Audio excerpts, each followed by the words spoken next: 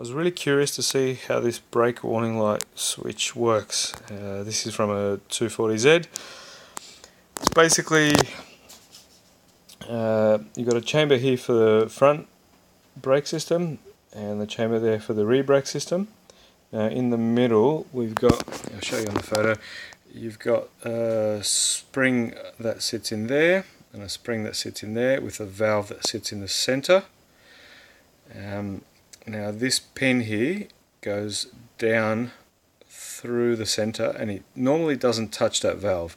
When you've got a pressure difference from your brake to your, your front to your rear brake system, that valve gets pushed to one side, that contacts that pin and that pin is connected to a wire which is connected to your brake light switch inside the cabin.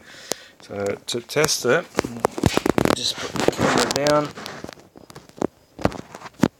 She's got a multimeter um, set up for continuity. Now at the moment I'm touching it and it is pushed to the left but it's there's no pressure there so it's not triggering yet. As soon as I apply pressure, there you go, that's pushed to one side. Now we can push that valve to the other side. That works both ways. Now the, the pressure difference, um, go, needs to be 13 to 17 kilograms per centimeter cubed. Uh, and I guess that's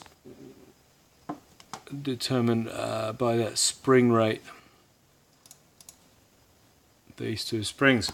But there you go, an interesting little mechanical brake warning light system.